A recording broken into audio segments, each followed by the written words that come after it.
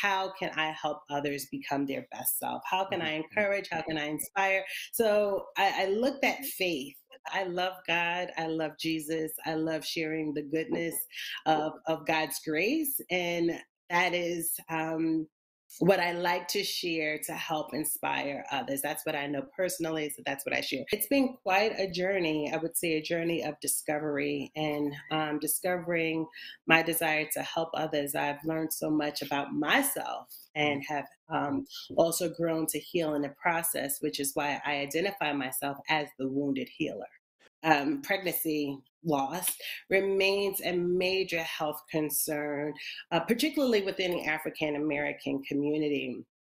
Um, African American couples, women are twice as likely to experience infant mortality or, or uh, pregnancy loss. Oh, I didn't know uh, early.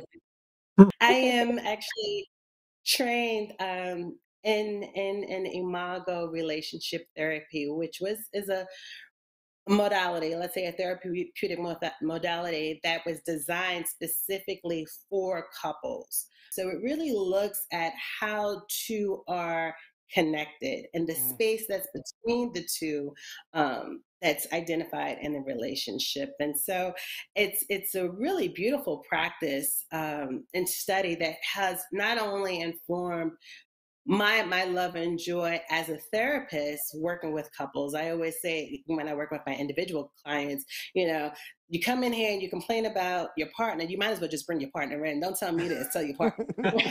That makes sense right? I do believe that god has created us to be relational beings and that god is you know in relationship with us or wants to be in relationship with I always tell my clients that the health of a relationship is not so much um, not getting into any ruptures or not having um, moments of disconnect, but it's how well how soon can you recover from it, right? So it's not about the rupture as much as it is about the repair.